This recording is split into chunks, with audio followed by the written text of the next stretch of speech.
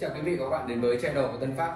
À, Trong quá trình sử dụng máy in ờ, với dòng ZT231 hôm nay mình có ở đây. Thì à, chúng ta sẽ không ít lần chúng ta sẽ gặp phải những cái lỗi như là Media Out. Thì hôm nay cùng theo dõi Tân Phát mình sẽ hướng dẫn các bạn cách fix lỗi Media Out.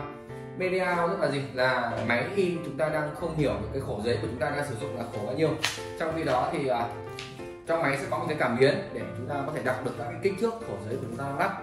Ở đây thì mình đang có một cái tem của mình à, đây là tem ờ, hai tem một hàng với ờ, kích thước là 50 x 70 nhưng mà cái tem của mình đặc biệt một tí đó là ở giữa này các bạn có thể nhìn thấy. Ở giữa hai con tem với nhau thì nó sẽ có cái khoảng cách có khoảng cách giữa hai con tem. Và khi này thì máy của mình đang bị lỗi medial và không đọc được giấy. Máy không hiểu được. Thì cái lỗi này chính chủ yếu của chúng ta sẽ xảy ra khi mà cảm biến của chúng ta đang không sai vị trí. Và bước chỉnh của chúng ta thì gần như là sẽ điều chỉnh lại vị trí cảm biến giấy thì à, như các bạn đã biết, phần lớn cái lỗi này xảy ra đó là khi mà cảm biến giấy của chúng ta đang ở sai vị trí. Thì à, làm sao để biết được vị trí cảm biến giấy? Thì như các bạn đã biết thì ở trong này chúng ta sẽ mở nắp hộp lên.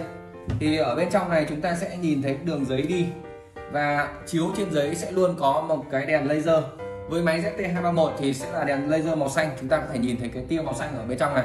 Như các bạn thể nhìn kỹ thấy, ở trong này sẽ có một cái đèn laser màu xanh đang chiếu vào giấy. Thì làm sao để chúng ta điều chỉnh vị trí? Cái đèn laser này sẽ điều chỉnh vị trí thủ công bằng tay các bạn nhé chúng ta sẽ ở đây này. Ở bên dưới chúng ta sẽ luồn xuống dưới. Ở ngay bên dưới này sẽ có một cái cái để vị trí chúng ta điều chỉnh.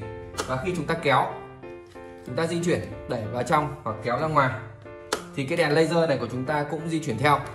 Thì khi đấy, với vị trí mà tân phát chúng ta, tân phát ra mình khuyến nghị các bạn đó là đẩy hết tầm vào thân máy. Chúng ta đẩy kịch tầm sang bên trái nhé và thân máy. Sau đó chúng ta kéo lùi ra ngoài khoảng 3 cm đó. Như các bạn thể nhìn thấy ở đây thì sau khi mình đã kéo trong 3 cm thì cái đèn laser của mình đang chiếu vào giữa một một con tem ở một bên nhé. Chiếu vào giữa ở một con tem ở một bên. Và với vị trí như này thì mình đảm bảo với các bạn là máy nó sẽ đọc được cái khổ giấy của chúng ta. Và các bạn làm tương tự với những cái khổ giấy mà các bạn đang sử dụng ở nhà nhé. Và sau đây mình sẽ các bạn kiểm tra này. Với lỗi như này ấy, chúng ta bấm này. Đấy, mình đang bị lỗi này. Mình mở đầu ghi lên này để test này. Sau đó mình đóng lại và mình bấm tô Đấy. Đấy, các bạn thấy không? Máy lúc này sẽ chạy giấy ra để khoảng 3 con tem để bắt đầu đọc lại kích thước giấy của chúng ta. Và khi máy đọc xong thì vị trí xé của ta nằm chính giữa trên thanh à, sắt G để xé ở đây. Và máy đã hết lỗi.